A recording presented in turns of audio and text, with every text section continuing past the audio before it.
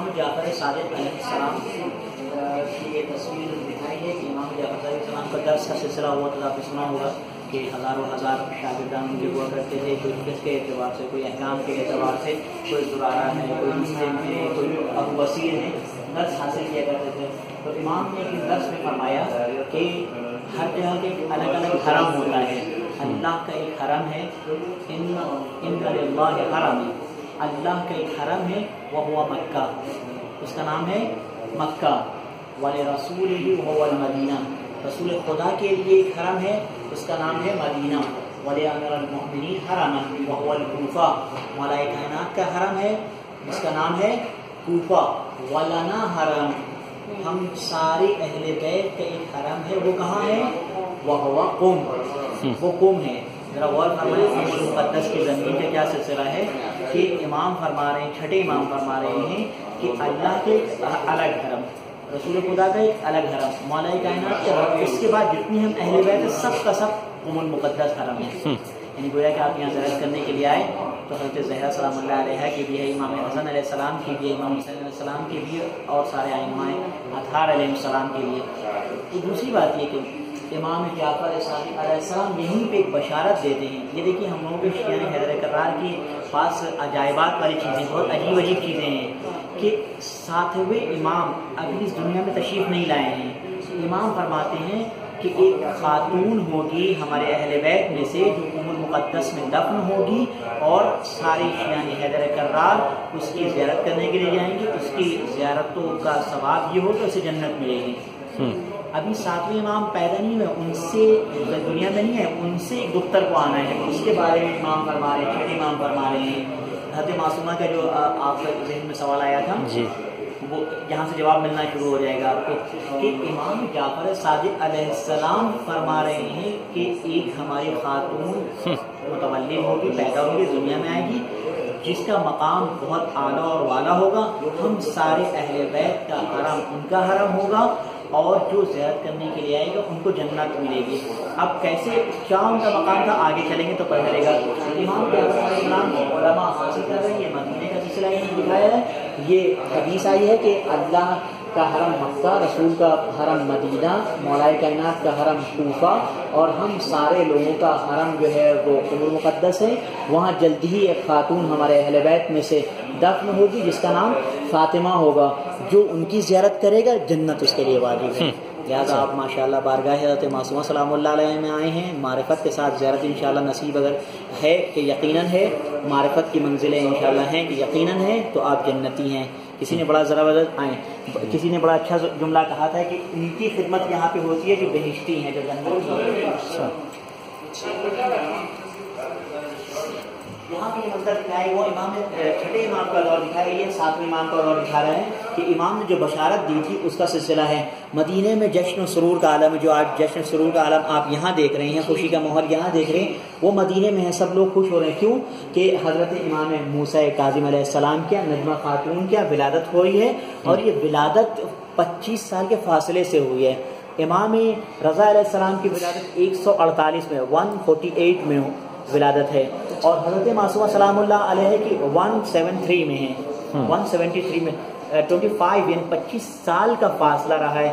तो गैर ये कि हज़रत मासूमा सलाम की विलादत है लेकिन ये पच्चीस साल का जो फासला हुआ है उसने इस विलादत के जश्न सरूर को दोबाला कर दिया है। हम्म। ये भी दिखा रहे कि लोग खुशी मना रहे हैं कि हज़रत फातिमा की विलादत के हवाले से हैं। तो खातन आ रही हैं और तफरीक और तहनीत और मुबारकबाद का सिलसिला ये यहाँ अच्छा। आया है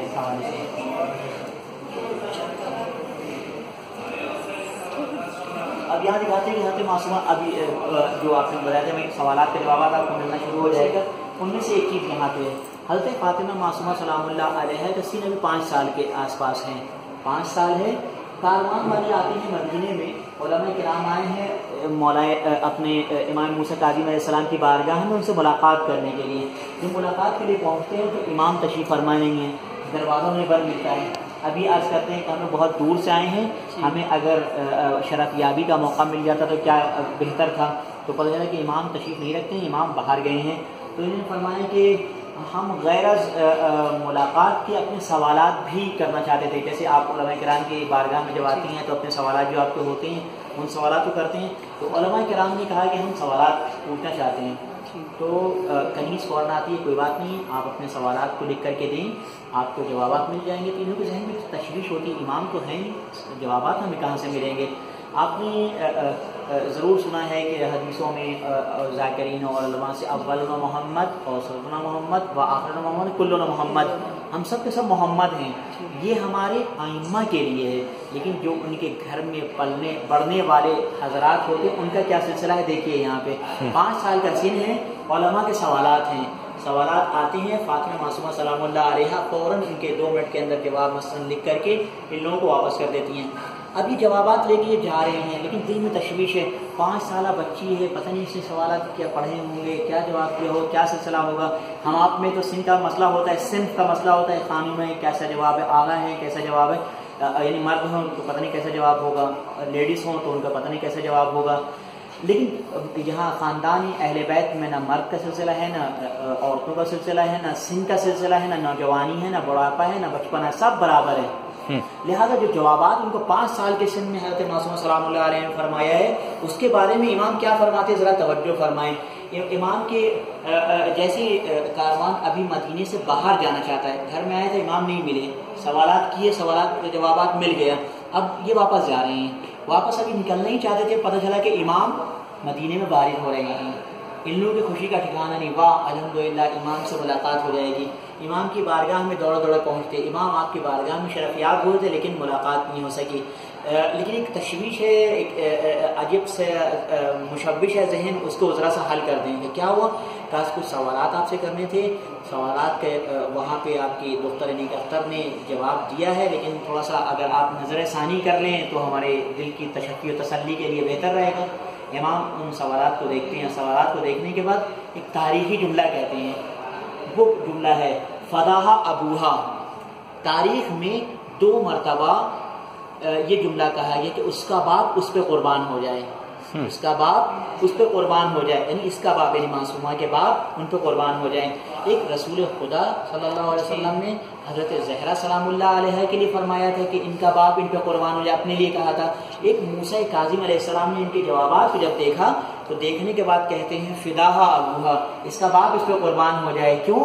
कहने लगे कि जो अब्बल मोहम्मद वाली हदीस को अब यहाँ पे ला करके आपके देखें, कहते, अगर मैं जवाब देता तो मैं भी यही जवाब देता। हम्म।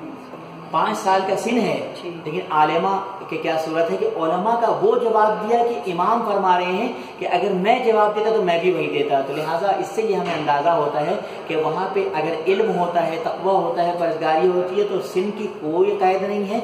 सिर्फ़ लेडीज़ और जेंट्स की कोई कैद नहीं है। सब आला और बेहतरीन मंजिलों पर फ़ायदे उसके अलावा हज़रत फ़ातिमा मासूमा सलाम इमाम हज़रत जैनब सलाम से अलहा से बाज़ चीज़ों में मुशाबहत रखती हैं उनके जैसी हैं और बाज़ चीज़ों में हज़रत जहरा सलाम से मुशाबहत रहती हैं उनके जैसी हैं। हज़रत जहरा सलाम से फरिश्तों ने बात की थी इसको कहते हैं मुहदसा हम्म। बातें करने वाली। अच्छा। या जिनसे फरिश्तों ने बातें की। इस सिफत में हज़रत मासूम सलाम शरीक नहीं है मुशाबहत नहीं रखती हैं। लेकिन दूसरी चीज़ होती है पाँच फातिमा हैं हज़रत फ़ातिमा ज़रा सलाम उनके बाद तीन फातिमा हैं, उनके बाद ये मासूमा सलाम हैं। एक दूसरे से हदीस को इन्होंने आगे बढ़ाया है। एक फातिमा ने दूसरे फातिमा को, दूसरे फातिमा ने तीसरे फातिमा को हदीस को आगे नकल किया है। ये वाली हदीस, जैसे अल्लाह अनका मिन्नी बेमंजरत हारून मिन मूसा। अला मन माता अला हुब आल मोहम्मद माता शहीदा मन कुन तो मौला फहाजा अली मौला ये जो हदीस को आगे बढ़ाने का सिलसिला होता है हर किसी का नहीं होता है। यानी मैं हदीस को बयान करूँ मन कुन तो मौला फहाजा अली मौला तारीख में नहीं लिखा जाएगा कि अकबर हुसैन जाफरी ने इस हदीस को आगे लिखा है क्योंकि उसके लिए सथ एक लाजिम है मराज कराम जो होते हैं उन लोगों को जब एक स्टेज पर पहुँच जाए तब इजाज़त मिलती है रिवायत को आगे बढ़ाने की। हर किसी को इजाज़त नहीं होती है। हज़रत फ़ातिमा मासूमा सलाम को अलहमदिल्ला ये सिफत हासिल थी कि हज़रत फ़ातिमा मासूमा सलाम ने इन आहर पाँच हदीस ऐसे हैं कि जो हज़रत फ़ातिमा मासूमा सलाम से आगे नकल की गई हैं। लिहाजा इनको भी कहा जाता है मुहदसा हदीसों को नकल करने वाली। ये दो चीज़ हो गई एक तो ये सवाल का जवाब दे करके पाँच साल के उम्र में बता दिया कि उनका इल्मी हैसियत क्या थी। दूसरे अहादीस को आगे बढ़ा करके हज़रत फातिमा मासूमा सलाम ने बता दिया उनकी मंजिल और मकाम क्या था। और इमाम ने फदाह अबूहा का लफ्ज़ कह करके बता दिया कि उनका मकाम इल्मी क्या था। मकाम इल्मी वालिद और बेटी के बिना पे नहीं है। हम्म। बेटी और बाप के रिश्ते के एतबार से नहीं है। वो इल्मी मकाम हो तकवा परजारी वरना इमामों के बेटे हुए हैं इमामों की बीवियाँ हों जो इस लायक नहीं थी। आप इमाम हसन सलाम की बीवी को जानते हैं जोदा जोदा बिनते खाली अशअज जो थी उसने क्या किया था? इमाम हसन सलाम को जहर दिया था। हम्म। तो ज़रूरी नहीं कि कोई इमाम की बीवी हो सही भी हो। इमाम के एक बेटे भी थे जो कई बेटे ऐसे निकले हैं कई ऐसे फर्जंदान हुए हैं जो सही नहीं निकले हैं। लेकिन हज़रत मासूम सलाम को अलहमदिल्ला ये इफ्तार हासिल है कि जो इमाम रज़ा के वालिद हैं इनके भी वही वालद हैं। जो इमाम रज़ा की वालदा हैं इनकी भी वही वालदा हैं। यानी दोनों सगे हैं दूसरे लोग अलग अलग हैं इस एतबार से। आ जाए दूसरे लोग हैं वो वो विलादत के एतबार उसके एतबार से माँ के एतबार से अलग हैं। हम्म। यानी दूसरी औलादे जो इमाम की हैं वो माँ के एतवार से अलग है, बाप के एतवार से एक है लेकिन माँ के एतवार से अलग है। ये फिर सिलसिला दिखा रहे हैं इमाम मूसा काजिम का सिलसिला जो है, वो अक्सर कैद खाने का सिलसिला रहा है और हमेशा जो है इमाम को कैदोबंद की सूरत अपनानी पड़ी है लेकिन जब इमाम इस दुनिया से चले जाते हैं, सातवें इमाम, उसके बाद आठवें इमाम का दौर आता है, उनको भी सही तरीके से रहने का मौका नहीं मिलता है। मामून अब्बासी जो था, वो ज़ोर ज़बरदस्ती करके इमाम को मदीने से सफ़र करने के लिए मजबूर करता है। इमाम खुदा हाफजी करते हैं और लोग जब इमाम को खुदा हाफजी के लिए आते हैं तो इमाम फरमाते हैं, मेरे ऊपर गिरिया करो, मेरे लिए रो। तो लोग कहते हैं कि इमाम जो मुसाफिर जाता है उसके पीछे रोना मकरू है। कहते हैं उस मुसाफिर के लिए मकरू है जो कि वापस आए। मैं वापस नहीं आऊँगा मैं क्या रहा हूँ और नहीं आऊँगा इसलिए मेरे पर गिरिया जारी का सिलसिला किया जाए। यानी इमाम जगह जगह पर ये बता रहे थे कि मैं अपनी अख्तियार के हालत से नहीं जा रहा हूँ बल्कि मुझे ज़बरदस्ती ले जाया जा रहा हूँ। मैं जा भी रहा हूँ इस बिना पे ताकि शियानी हैदर करदार की जान और मालो इज़्ज़त और आबरू महफूज रह सके। एक सवाल इमाम मुझसे ताजिम की कसीर औलाद थी ना? जी जी जी।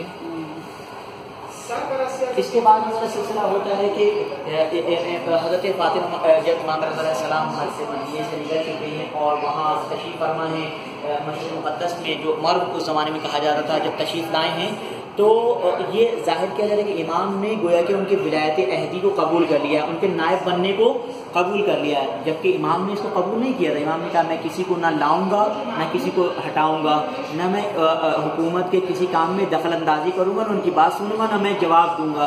इमाम ने फरमा दिया था। लेकिन वो हर जगह ज़ाहिर ये कर रहे थे, इमाम अब्बासी वाले, हम में और इमाम में मुसाहलत हो गई है, मसला ख़त्म हो गया, कोई मुश्किल नहीं है, हम लोग सब हल हो गया लेकिन जब ये वाली मुश्किल हो रही थी, इमाम ने ख़त लिखा, हज़रत मासूमा को आप आए, जिस तरीके से हज़रत जैनब सलाम करबला के मैदान से कोफे की तरफ़ जब चली हैं, शाम की तरफ़ चली हैं तो सारी चीज़ों को बताते हुए चली हैं, वैसे ही मासूमा सलाम आती हैं, लेकिन जब जब विलायत का दिफा कर रही थी तो हुकूमत वालों को मालूम हो गया और उन्होंने जाकर के कारवान पे हमला कर दिया साहबा में। जितने मर्द इन लोगों के साथ थे सब के सब शहीद हो जाते हैं। हम्म। और उसके बाद मासूमा सलाम मालूम करती हैं कि एशियानी हैदर करार का मरकज़ कहाँ पे है तो उनको मालूम होता उम है। तो उन की तरफ़ मासूमा सलाम हरकत करती हैं। अब ज़रा सा ये देखिए कि सिलसिला क्या कितना ज़बरदस्त। मैंने कहा बात चीज़ों में मशाबियत हज़रत जैनब सलाम से है। तो वो ये है कि हज़रत जैनब सलाम जिस तरीके की करबला से चली हैं कूफे और शाम की तरफ़ इमाम हुसैन सलाम के मकसद को बयान करते हुए वैसे मासूमा सलाम भी बयान करते हुए चली हैं। लेकिन देखिए एक फ़र्क है जैनब कुबरा के कोफा में दोबारे आने का और हज़रत मासूमा सलाम के उमुल मुक़दस में आने का। जबकि यहाँ उरमा को मालूम होता है, जश्न सरूर का माहौल है, सब दरवाजे शहर तक जाते हैं मासूमा आने वाली, मासूमा आने वाली, सबों के हाथ में गुलदस्ता है, गुल है, फूल है। सब खुश हैं और मासूमा का बेहतरीन इस्तेबाल किया जा रहा है। लेकिन अफसोस मुझे याद आता है हज़रत जैनब कुबरा का वो ज़माना कि वो जब मदी कोफे में आ रही, अगरचे वो शहजादी थी कोफे की, लेकिन पत्थरों से उनका इस्तेबाल हो रहा है। उनको कहा जा रहा है कि ये बागी हैं और ये मुश्किल साज लोग हैं। ये हज़रत मासूमा सलाम के इस्तेबाल का सिलसिला आपने देखा।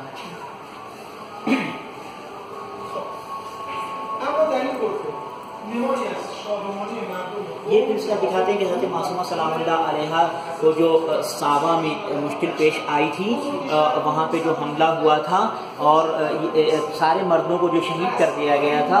एक रिवायत के मुताबिक हज़रत मासूमा सलाम को भी ज़ख्म मसलन आए, या हज़रत मासूमा सलाम को भी जहर दिया गया था, या भाई की दूरी को ताक न ला करके सत्रह दिन कुम में आती हैं, हज़रत मासूमा तशरीफ़ आती है सत्रह दिन सिर्फ़ यहाँ रहती हैं। जो आप गए होंगे जिस जगह पे महल इबादत था, उसका नाम है बैतुलनूर वहाँ पे हज़रत मासूमा सलाम अपनी इबादतों में मशगूल रहती हैं और कराम लोगों से मुलाकात करती हैं लेकिन सत्रह दिन के बाद इस दुनिया से चली जाती हैं। इस दुनिया से इर्तहाल हो जाता है। गिरजाजारी का आलम है इस तरीके से हज़रत फातिमा जहरा सलाम के लिए एक मुश्किल थी यहाँ पे भी वही मुश्किल पेश आती है कि यहाँ पे उनके साथ महरम कोई नहीं है। सारे के सारे लोग सावन में शहीद हो चुके हैं। और अल्लाह के नाम बैठते सोचते क्या करें क्या करें किस तरीके से कब्र में उतारें। तो ये तय होता है कि कराम जो है चादर के ज़रिए से दफन करेंगे कफन करेंगे लेकिन जैसे ही वो नमाज़ पढ़ना चाह रहे थे तो गुबार ज़ाहिर होता है और दो शख्सियत ज़ाहिर होती है जिसके लिए कहते हैं कि इमाम रज़ा सलाम इमाम जवाज सलाम आते हैं वो नमाज़ पढ़ते हैं और ये दफन का सिलसिला हज़रत हम्म। मासूमा सलाम का सिलसिला होता है और इसके बाद फिर बताते हैं कि ये तो दफन का सिलसिला हो गया जब यहाँ पे जब जरी बन जाती है इमाम जवाद सलाम की एक बकरिन एक अख्तर थी, जिनका नाम था हज़रत ज़ैनब। वो यहाँ से गुजर रही होती हैं, वो आती हैं। यहाँ पे एक बाब जिसमें हज़रत मासूमा को दफन किया गया था, इसका नाम था बाग बाबुलान। ये बाग था यहाँ पे और कब्रस्तान था। तो वो आती हैं, आने के बाद एक गुम्मत तामीर करती हैं। तामीर करने के बाद ज़माना इस बदलता चला जाता है और शाहान जो शियान हैदर करार थे और इस ज़माने का जो आप हाथ देख रहे हैं, शुरू के अंदर हुकूमत है, इसमें तोसी होती चली जाती है और जो हर मतहर आप देख रहे हैं, वो इसका सिलसिला इस बिना, इस तरीके से है। हज़रत मासूम सलाम के बारे में जो अहादीस बयान की गई उन्हें तीन चार चीज़ें यहाँ है चार इमामों ने फरमाया है। इमाम जाफ़र सलाम ने फरमाया, जो आपने वहाँ सुना था कि हम में से एक दफन होंगी, जो सारिशियान हैदर करार का मलजा और मावा बनेंगी। इमाम जवाद सलाम फरमाते हैं कि मंजार अम्मती कौम फलहुलजन्ना हमारी पुपी के जो कौम में ज्यारत करे, उसके लिए जन्नत वाजिब है। इमाम सादिक फरमाते हैं, तदखुल बशफ़ात शीअतलजन्ना बजमहिम कहते हैं कि हम मासूमा सलाम है कि जो जैरत करेगा और जैरत के ज़रिए से जन्नत में दाखिल होगा। इमाम सादी सलाम से ये मंजा रहा, वजवत लहुल जन्नत, जो उनकी जैरत करेगा, जन्नत उनके लिए वाजिब है। फिर उसके बाद जो इमाम रज़ा सलाम से फरमाया मन जाराहा आरफन, जो उनकी जैरत करे, मासूमा की जैरत के, इरफान के साथ, मारफत के साथ उनके लिए जन्नत वाजिब है।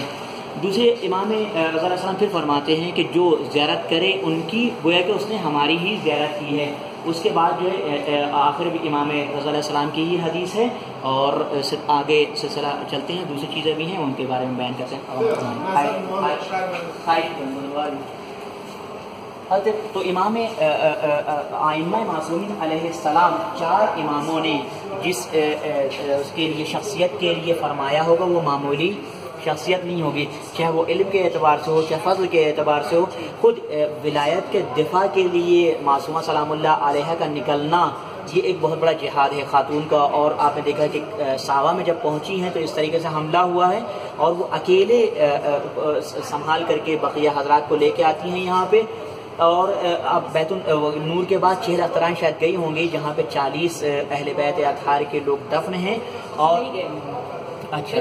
के लिए गए हम चाह रहे अच्छा अच्छा अच्छा अच्छा इंशाल्लाह। तो ये सिलसिला है कि जो चालीस लोग आए थे उन लोगों को एक ही जगह दफन किया गया है ताकि उनका सिलसिला जो है ज़्यारतों के एतबार से भी बेहतरीन और ज़बरदस्त रहे।